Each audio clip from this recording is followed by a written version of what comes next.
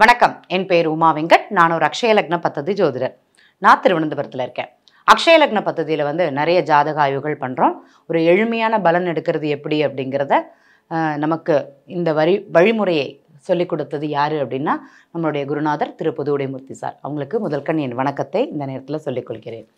ஏன்னா ஒரு பார்க்க வராங்க ஒரு நண்பர் அவங்களுடைய கேட்கக்கூடிய கேள்விகளுக்கு நம்ம அவங்களுக்கு தெளிவான விளக்கம் அப்படிங்கிறது கொடுக்கணும். அவங்கள அந்த காலகட்டத்தில் போய் நிற்க வச்சு கண் முன்னாடி அதை பார்க்க வைக்கக்கூடிய ஒரு நிகழ்வு அப்படிங்கிறது அவங்களுக்கு நிகழ்த்தணும் இது வந்து அக்ஷய லக்ன பத்ததியில் மட்டுமே சாத்தியம் அப்படிங்கிறது சொல்லிக்கிறேன். ஏன்னா கடந்த காலத்தில் என்ன நடந்தது அப்படிங்கிறத நமக்கு டிரான்சிஸ்டில் போய் பார்க்கக்கூடிய ஒரு தன்மை அப்படிங்கிறது நம்ம ஏல்பி சாஃப்ட்வேரில் கண்டிப்பாக இருக்குதுன்னு சொல்லலாம். அதுவும் துல்லியமான நீங்கள் வந்து ஒரு பத்து வருஷத்துக்கு முன்னாடி உங்களுடைய திருமணம் நடந்த காலம் குழந்தை பிறந்த காலம் அந்த மாதிரி சில நிகழ்வுகளை எடுத்து கூறும்போது அவங்களுக்குள்ள ஒரு மனமகிழ்ச்சி சந்தோஷம் அப்படிங்கிறது ஏற்படுதுன்னா ஏற்படுது. இதை சுக நிகழ்வுக்காக மாத்திரமே இல்லாமல் ஒரு கஷ்டப்பட்ட காலங்கள்லையும் இந்த மாதிரி செயல் செய்ததனால் இந்த மாதிரி பிரச்சனையை நீங்கள் சந்தித்திருப்பீர்கள் அப்படிங்கிறத நம்ம சொல்லியிருக்கோம். அதுவுமே அவங்களுக்கு ஒரு நல்ல நிகழ்வாக. ஏன்னா எதிர்கால பலன் சொல்லும்போது இது அவங்களுக்கு ஏற்றுக்கொள்ளக்கூடிய ஒரு தன்மை அவங்களுக்கு ஒரு தைரியம் நம்ம சொல்லக்கூடிய சிறு சிறு பரிகாரங்கள் அப்படிங்கிறது அவங்களுக்கு இன்னும் ஒரு பலமாக அவங்களுடைய வாழ்க்கைக்கு அடுத்த பக்கம் செல்லக்கூடிய ஒரு நிலையாக இருக்கிறது. இது அக்ஷய லக்ன பத்ததி முறையில் மட்டுமே மட்டுமே சாத்தியம் அப்படிங்கிறத இந்த இடத்துல தெரிவித்துக் கொள்கிறேன். வாங்க ஜாதகம் பார்க்கலாம்.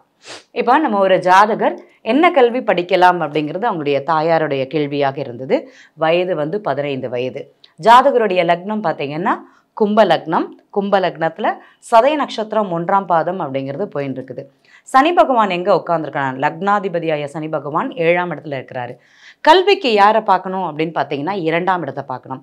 இரண்டுக்கும் பதினொன்றுக்கும் அதிபதி குரு பகவான் பதினொன்றாம் இடத்துல இருக்கிறாங்க. அப்போ இந்த காலகட்டத்தில் ஜாதகர் மனதுக்கு பிடித்த கல்வி அப்படிங்கிறத கண்டிப்பாக படிப்பார் அப்படிங்கிறது சொல்லலாம். அதுவும் ரிசர்ச் ஓரியன்டாக கல்வி ஆய்வு கல்விகள்னு சொல்லுவோம். ஃபார் மெடிசன் படிக்கலாம். அவங்க அவங்களுக்கு ரொம்ப சிறப்பான ஒரு பலன் அப்படிங்கிறது அவங்களுக்கு கொடுக்கும். மருத்துவம் சம்பந்தப்பட்ட கல்வி அப்படிங்கிறது இந்த ஜாதகருக்கு நல்ல நிலையில் கை கொடுக்கும் அப்படிங்கிறது சொல்லலாம்.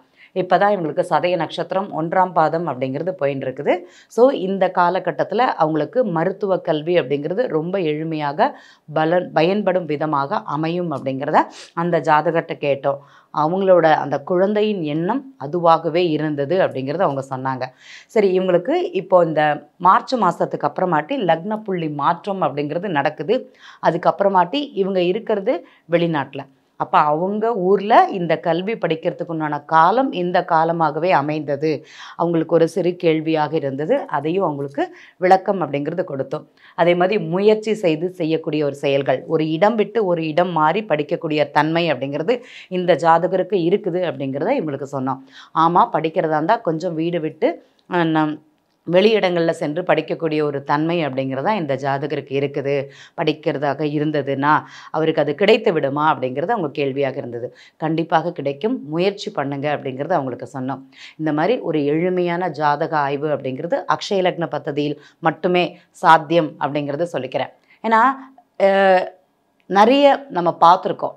ஆனால் துல்லியமான பலனோ லைஃப் ஆஃப் ஈவன் சொல்கிறதுக்கோ அதே மாதிரி இந்த காலகட்டத்தில் நடக்கும் அப்படிங்கிறதையும் நம்மளால் உறுதிப்பட கூற முடியாது அப்படிங்கிறது தான் உண்மை.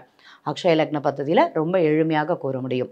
இதை தந்த நமக்கு நம்முடைய குருநாதர் திரு புதுவுடைமூர்த்தி சார் அவங்களுக்கு நன்றி தெரிவித்துக் கொள்கிறேன். நன்றி வணக்கம்.